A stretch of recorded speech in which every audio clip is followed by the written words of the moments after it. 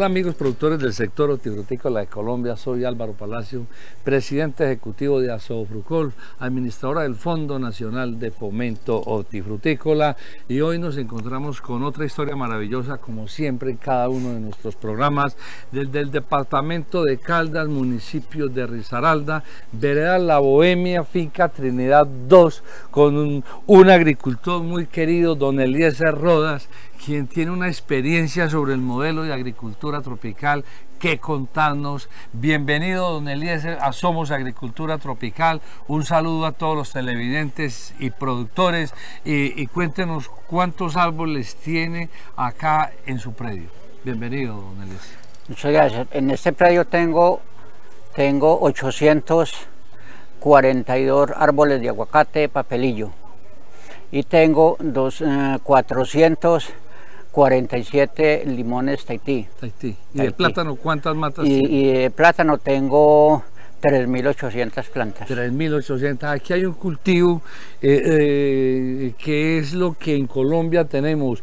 eh, pequeñas fincas con esas con ese tipo de eh, con esa cantidad de árboles que le generan economía a los productores. Don Eliezer cuéntenos cómo ha sido la transición de esa agricultura convencional con químicos a esta agricultura tropical que la ingeniera Xiomara de Azofrucol Fondo de Fomento Hortifrutícola lo ha venido a instruir sobre ese nuevo modelo Pues vea, nosotros cuando empezamos con esta propiedad empezamos con lo, con lo común, comprando químicos, agroquímicos, todo eso, hasta que doña Xiomara ya vino y nos visitó y nos dijo qué debíamos de hacer. Entonces empezamos el, tratamiento de los aguacates, de, de los limones con, con ah, esos productos que- Biológicos.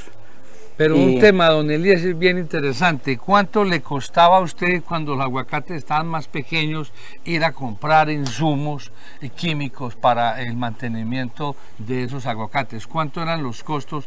Le, ¿Cuánto le valían a usted esos productos mensualmente? Nosotros mensualmente estábamos, estábamos eh, comprando los insumos y nos valían un promedio entre 370 y 400 mil pesos ¿Cada cuánto? cada Elías? 20 días. Cada 20 días para Cada- aplicarle a los aguacates y los Ah, y limones. los y limones, sí. Ahora, ¿cuánto le está costando los bioinsumos? Pues nosotros hicimos una preparación hace siete meses que tuvimos un costo de 800 mil pesos. Hace siete Eh, meses. Hace siete meses. De ahí para acá hemos venido haciendo las mismas fumigaciones cada 20 días hasta el día de hoy y tenemos todavía Producto. producto por ahí para unos cuatro meses. O sea que con 800 mil pesos, si ya llevan 7 meses y 4 meses, serían 11 meses con 800 mil pesos. O sea, o sea hoy, hoy casi todo un año se han gastado en insumos 800 mil pesos. Sí, señor. Mientras que cada 20 días se gastaba 370, 400. 400 mil pesos con químicos. Con químicos. sí. O sea que el ahorro es muy grande. ¿Cuánto calcula usted el ahorro Pues yo en- creo en que- costos? por ahí un 70, un 80%. de un 70 a un 80% ha disminuido los costos de producción. Pero lo más importante, don, don, don Eliezer, es una cosa. Eso le ha funcionado para el control de plagas, enfermedades y nutrir bien esos aguacates y esos limones. Mucho, porque debido a eso, debido a eso me metí a la, a la- a la asociación y la señora Xiomara me, me dijo qué debía de hacer y empecé, tenía unos brotes de araña roja, que el aguacate era rojizo por donde uno volteaba, Lleno de arañitas rojas. lleno de arañita roja. Eh, Ella ya me- nos dijo que hiciéramos eso, lo hicimos y ahí puede ver el cultivo, un cultivo sano, limpio. ¿Qué pasaba con la arañita roja con los químicos? ¿No, no la controlaba entonces o qué? Eso, eso controla un poquito, un poquito, pero vuelve otra vez. Pero vuelve. Y ya con estos, eh, con estos bioinsumos, ¿qué pasó con la arañita entonces? Desterrada. De, de la primera fumigación controló mucho, ya la segunda más todavía fue quedando el cultivo completamente limpia. Y, y Hoy está limpio de arañita roja. Hoy está limpio, nunca se volvió a aparecer un problema de esos. Y una cosa interesante, ¿usted no se sentía como intoxicado cuando usaba todos esos venenos? Pues yo de hecho al principio empecé a fumigar, empecé a ver que yo sentía ya, sentía ya problemas de respiración, sentía problemas de salud. Eh, ya me conseguí un muchacho que me hiciera las fumigaciones, me hizo dos, ya las Sí. dos fumigaciones, me dijo, Nelías, yo no puedo seguir con esto tampoco. Tampoco. Miré a ver, entonces ya ahí fue donde fuimos mirando a ver eh, estas, estas opciones y pues hasta ahora... Llegó la ingeniera Xiomara y les trajo una buena opción. Una buena opción. Y, ¿Y ahora qué problemas tienen cuando usted fumiga con el caldo sulfocásico, jabón potásico? Ninguno, ninguno. Ningún problema. ningún problema porque pues, eh, de ahí para acá un solo señor ha venido haciéndome las fumigaciones cada 20 días. Él no tiene ningún problema de salud. ¿No le ha puesto problema el trabajador para hacer eso? Nada. O sea, normal. Usted da testimonio a todos los televidentes y pequeños productores de Colombia que la agricultura tropical sí funciona. Sí funciona y es una agricultura muy sana. Muy sana y económica. Y económica. Y da resultados, don Y, y da resultados. Don Eliezer, perdón. Don Eliezer, otra cosa, los herbicidas, ¿qué pasó con los herbicidas en esta finca? Pues, eh, los herbicidas, nosotros cuando trabajábamos del otro lado, nosotros aplicamos mucho herbicida. Ya ahorita con con, las enseñanzas de doña Xiomara hemos ido controlando esto con guaraña. ella nos dice que eh, manualmente uno ir bajando las malezas altas y dejando las, rasteritas. Entonces ahí vamos, es un, es un, es un, es un proceso muy complejo porque es de tiempo y de, y de, y de mucha paciencia, y, pero se puede. Amigos productores, debemos hacer un cambio con el modelo de agricultura que venimos trabajando porque afectamos el medio ambiente, acabamos con la economía y sobre todo contaminamos los alimentos porque lo que está sembrando Don Eliezer acá es comida o no? Es comida, sí. Es comida para todas las personas que viven en, en las ciudades, en el campo, para todos los seres vivos. Esto es comida porque somos el Fondo Nacional de Fomento Hortifrutícola, su cuota bien invertida.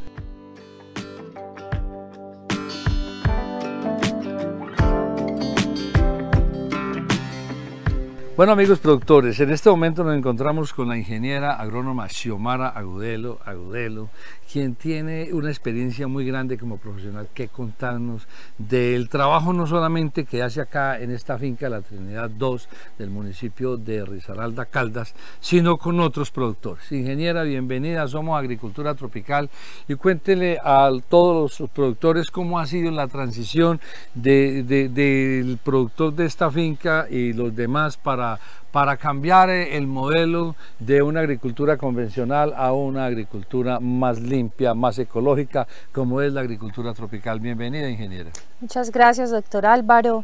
Eh, realmente es un orgullo poder presentar eh, un tema de estos y con productores que empiezan a tener cada día más experiencia en, este tema de agricultura tropical. realmente acá en la zona eh, ha sido un proceso un poco lento porque los productores vienen de una agricultura convencional a punta de agroquímicos. Ah, pues Entonces el hecho de uno decirle una vez que si usted hace este caldito, como ellos lo llaman o aguapanelas, eh, son muy reacios inicialmente, porque ellos solo le creen a lo que les cuesta más al producto más caro, ese es el que le creen. es el que le creen, el más caro mejor para el productor. Sí, señor, pero como este, el litro ya les cuesta 500 pesos y no 50 mil, 200, 500 mil pesos, entonces no le creen tanto. Entonces realmente ha sido eh, un camino, digamos, un poco difícil para muchos productores, pero lo bonito de todo esto es que quienes ya empezaron a hacerlo están hoy maravillados con el tema. Ven los resultados. Sí, señor, eso es lo más importante que a pesar de que fueron un poco reacios al principio, eh, los resultados son muy notorios para ellos. Mayor producción, el, el, tema poblacional, plagas y enfermedades limitantes para sus cultivos empezaron a bajar y ellos lo están viendo, que es lo más importante. El tema de agricultura tropical, el cuidado de suelo, agua, fauna, flora y nutrición, ellos lo están viendo ahí en conjunto y a unos costos más bajos y ah, sin sacrificar tanto el medio ambiente. Y, y el bolsillo. Y el bolsillo, que es muy importante para ellos. Y el bolsillo. Bueno, todos estos productores, como acá el caso que nos ocupa, y otros productores que usted atiende, ya vienen asimilando todo este proceso de cambio. Sí, señor. En esto se ve mucho lo que hablábamos, eh, el efecto espejo. Si ellos ven que le funciona a un vecino, ellos son muy eh, meticulosos y, empiezan, ah, ven usted que le está echando al cultivo y entonces empiezan a hacerlo, empiezan a ensayarlo, ven que les funciona y arrancan. Entonces ya hay varios productores, bastante diría yo, que a pequeña escala ya lo empezaron a hacer, con efectos muy buenos en el tema de plagas y enfermedades. Eh, por ejemplo, los sulfocálcicos, se ve mucho acá en nuestra zona, sulfocálcicos, jabón potásico, el apichi, productos tan sencillos que cuando super uno... magro. Súper magro, que le sale, eh, digamos, a precio de huevo. Eh, pero con muchísimos beneficios. Entonces, cuando uno les habla en el tema de los, los, granulados que ellos aplican convencionalmente, solo le están echando minerales a las plantas, eh, están dejando los suelos desprotegidos, un plato a libre exposición donde hay una solarización y queman esos microorganismos, pero cuando empiezan a aplicar un super magro, por ejemplo, no solamente están echando minerales, están aplicando microorganismos, materia orgánica, materia orgánica. y un poco de eh, esos microorganismos con los que estamos inundando que ayudan a mejorar ese suelo, ayudan a darle vida, ayudan a darle oxigenación y por ende entonces tenemos un mayor desarrollo radicular y mayor producción de fruta, llámese aguacate, llámese cítricos, llámese plátano o lo que tengan en sus fincas. Esto no, esto no hay que inventarnos nada, esto está inventado. Lo que debemos es cuidar el suelo para poder cuidar la vida.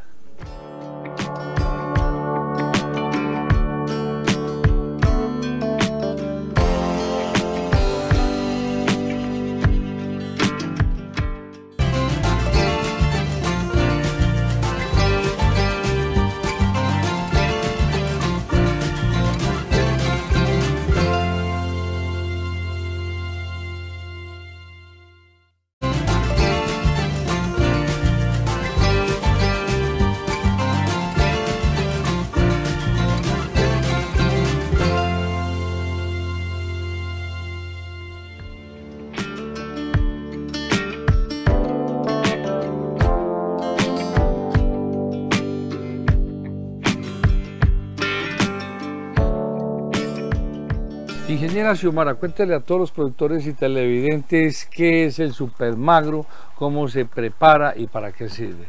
Ingeniera, por favor. Bueno, eh, doctor Álvaro, el supermagro es un fertilizante, un biofertilizante que yo lo estoy eh, realizando en la propia finca.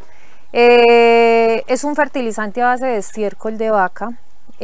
¿Por qué utilizamos este? Por el tipo de alimentación que tiene la vaca es diferente al de una gallina, al de un cerdo este lo que come es pura planta, ¿cierto? Entonces, sí, entonces en ese estiércol de vaca tenemos materia orgánica, tenemos microorganismos, eh, le aplicamos también miel de purga que hace el papel, digamos, de proveerle esa energía a todos esos microorganismos que, yo estoy teniendo. Sí, señor, para que se multipliquen.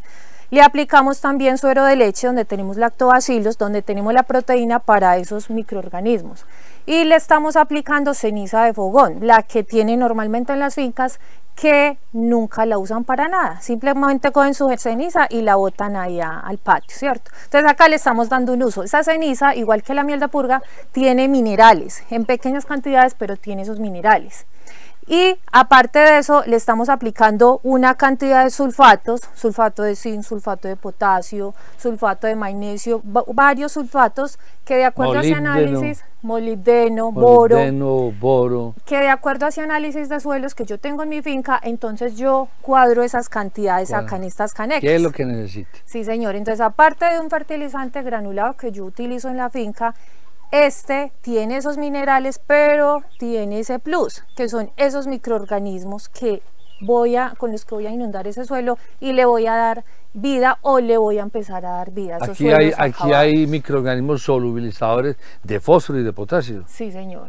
Ah, exactamente. Que son fundamentales. Que recordemos, amigos productores, que el fósforo y el potasio están en el suelo que no es soluble y no está disponible a las plantas. Solo con los microorganismos los hacemos solubles. ¿Es así, ingeniero? Sí, señor, totalmente. Entonces tenemos unos suelos estériles o con minerales, pero allá quietos. Con esto super magro, yo lo que estoy haciendo es, y como es líquido, digamos que le estamos aplicando una intravenosa a ese cultivo. cultivo. Entonces le está cayendo directamente a la raíz, lo está absorbiendo, lo está asimilando muchísimo más rápido, pero con materia orgánica, microorganismos, que es lo que necesitamos en nuestro suelo. Activa el suelo. Lo activa. Activa el suelo, podríamos decir que hasta lo desintoxica. Sí, señor. Porque el herbicida intoxica el suelo. Incluso esa miel de purga que lleva esto, ustedes bien conocen, eh, cuando hay una intoxicación en nuestros cultivos, ¿qué le aplicamos? Miel, de, purga, o azúcar o azúcar. He sabido que cuando intoxicamos un cultivo con herbicida, ahí mismo corren a echarle agua con melaza, o sea, miel de pulga, para desintoxicarlo. Porque Imagínese cómo es de buena. Imagínese cómo es de buena, eso lo saben todos los agricultores que aplican químicos, que la miel de, de pulga le desintoxica, le desintoxica ese eh, perdone la redundancia, esa intoxicación que fue producto de algún agroquímico que le cayó a las plantas. Bueno, esto va al suelo. Sí, al suelo y ¿Qué dosis, ¿Qué dosis se mezcla con, con canecas de 200 litros? Mm. ¿Qué cantidad de este super magro, qué cantidad se le adiciona a una caneca de 200 litros de agua? Bueno, eh, doctor Álvaro, entonces son varias cosas acá. Cuando se está iniciando con el producto, uno lo recomienda incluso al 50, al 40%. Lo puede bajar uno hasta el 30%. ¿Qué quiere decir? Una caneca de estas, yo la puedo mezclar con otras tres canecas más. Al 25% nos quedaría ahí. Con otras tres más, al final obtengo 4.000 litros de mezcla para aplicar al cultivo. ¿Cuánto estoy aplicando? Si estamos hablando, por ejemplo, para el caso de plátano y dependiendo del estado fenológico en el que se encuentre, yo le puedo aplicar entre un litro y dos litros en drench. Lo mismo para el caso de aguacate y para el caso de los cítricos. Ah, entonces, claro, lo puedo dejar hasta el 30%. Pero, pero si yo le empiezo a mezclar otras cosas, doctor Álvaro, por ejemplo, la importancia de tener un lumbricultivo en la finca. Yo puedo sacar ácidos húmicos, ácidos eh, fúlbicos, puedo sacar humato de potasio, eh, puedo hacer un sulfo potásico y yo todo eso lo empiezo a mezclar con este supermagro. ¿Qué quiere decir? Que puedo incluso bajar esas dosis al 30%, lo puedo aplicar al 20%, pero porque le estoy agregando otras cosas. Entonces empiezan también a disminuir esos costos. sí, señor.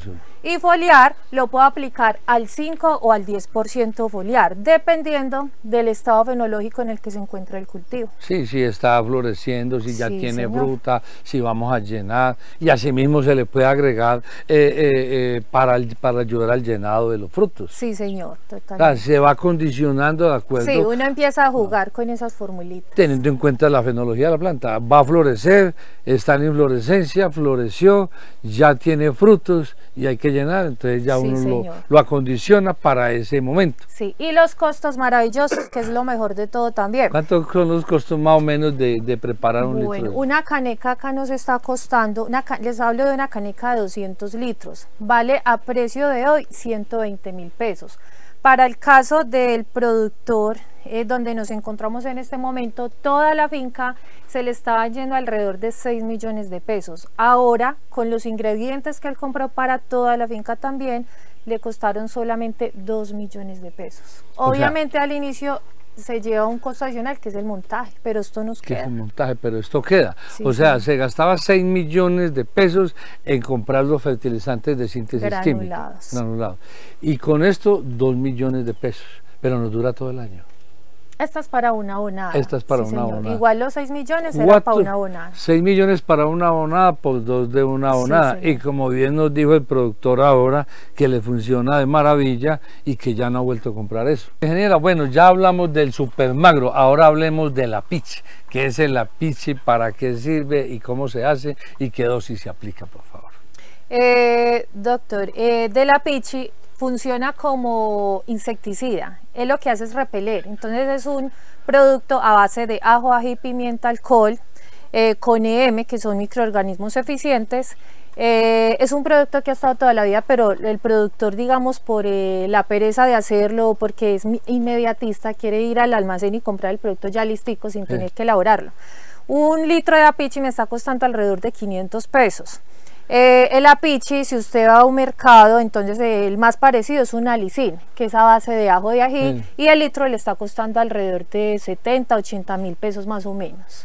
Cuando le puede costar 500 mil pesitos. Sí, señor. O sea, es fácil, amigos productores. No nos dé pereza hacer el apiche, que ya dijimos que es ajo, ají, pimienta, alcohol, y usted le agregó microorganismos.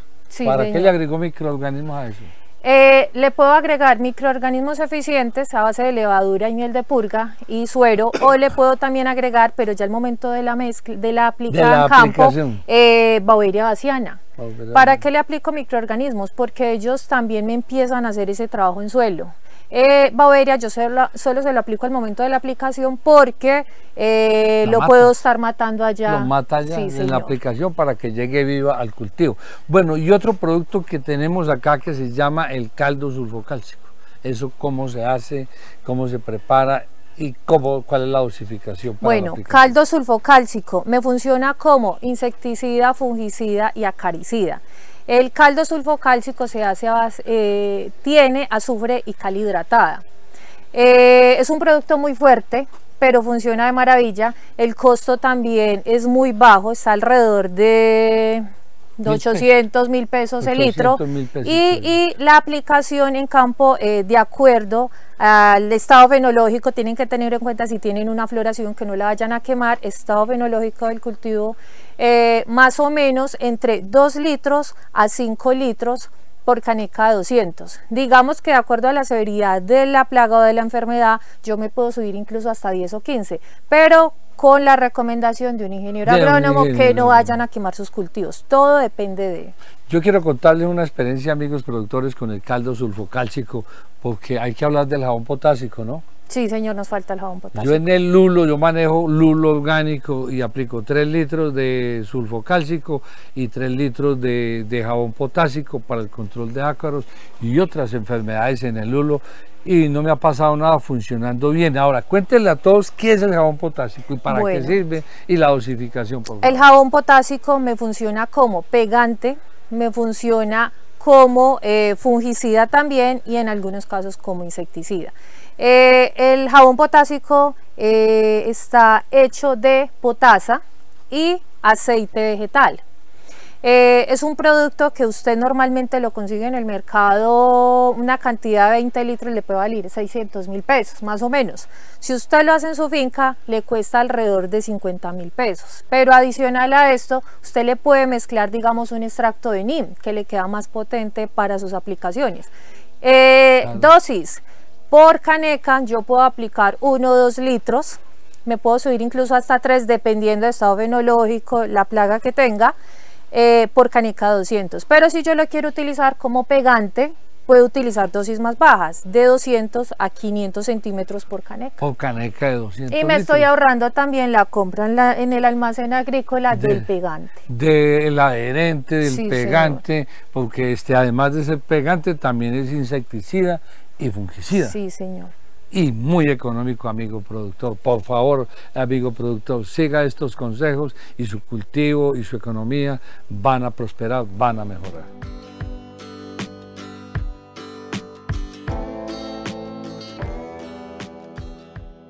Amigos productores, en este momento me encuentro con el ingeniero agrónomo eh, Silvio, nuestro coordinador del departamento de Caldas. Ingeniero, háblanos de cómo va, cómo vamos trabajando con los productores, con los bioinsumos, con las biofábricas y todo esto. Bienvenido, ingeniero, a Somos Agricultura Tropical. Bueno, doctor Álvaro, y pues para todos nuestros televidentes, inicialmente se presentó un proyecto al Fondo Nacional Hortifrutícola a través de Asofrucol para eh, digamos, motivar a los productores y tener unas biofábricas en cada uno de los departamentos como modelo, como pie para que se impulsara y se regara esta semilla. Eh, esos modelos constaban de hacer unas casetas con piso, tener unas canecas y poder organizar unos biopreparados. Hoy lo que vemos es que ha tomado una dinámica muy fuerte en todo el país. La gente está utilizando la guadua, que la tiene en la mayoría de las fincas. Para hacer los eh, techos. para hacer los techos, los casetas, la misma guadua para hacer unos soportes, unas canecas que conseguimos reciclables de 250 mil pesos unos, unas tinas de 200 litros que hoy se consiguen en 120 y 130 mil pesos. Debo advertir que a medida que se utilice todo este tipo de material, como hay una demanda, se está incrementando el precio de los insumos también. Pero esa estrategia va básicamente es para llevar una gira interna entre los mismos departamentos a que los productores, las asociaciones, conozcan este modelo de preparación de los biopreparados, valga la redundancia. Y allí lo que hemos encontrado es que cada quien va adecuando los bajos de la casa, un, sitio, sitio abandonado, una ramada, y va haciendo su propia biofábrica. Hoy, tengo que decirlo y felicitarlo porque hoy ya no solamente son las 20 biofábricas que iniciamos, hoy ya podemos hablar que en el país pueden ser más de 100 las que están y creciendo todos los días y creciendo todos los días. Entonces, creo que la dinámica ya está, creo que nuestro esfuerzo es tratar de buscarle eh, el tema de los insumos, acercarlo a los productores, asesorarlo cómo debe tener mejor y más eficiente su pequeña biofábrica y empezar a hacer el uso de ella que ya lo vienen haciendo. con el apoyo del Fondo Nacional de Fomento Hortifrutícola, Sobrucol, con todos nuestros técnicos, todos nuestros ingenieros, vamos por el camino correcto apoyando a todos los pequeños, medianos y grandes productores, porque aquí invertimos la cuota como debe ser en ustedes amigos productores.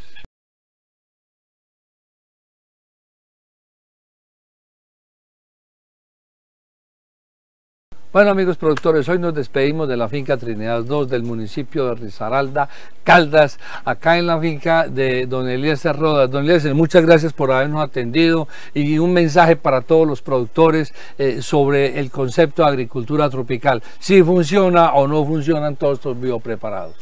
Primero que todo, muchas gracias a usted, a su por, por toda la, la asistencia que nos han hecho acá en la finca sobre sobre la, materia de, estos biopreparados, preparados el caldo sulfocálcico, que debido a eso hemos podido salir adelante con la finca, porque de no haber sido así con el costo de los fertilizantes, de los fungicidas y todo eso, no habíamos sido capaces. Eh, para mí esto funciona a las mil maravillas todo. Eh, eh, he ahorrado mucho dinero, me, hemos estado produciendo algo sano, algo, algo sin ninguna contaminación. Entonces, sí, les, recomiendo que sigan estas instrucciones y que ojalá echemos este proyecto para adelante. Muchas gracias, don Eliezer, por sus palabras. Y desde el Fondo Nacional de Fomento Hortifrutícola, Azofrucol, nos sentimos satisfechos por el trabajo que hace la ingeniera Xiomara, ¿sí Sí, es muy importante. Muy importante el trabajo de la ingeniera, de todos nuestros técnicos del Fondo Nacional de Fomento Hortifrutícola, Azofrucol, porque su cuota está bien invertida.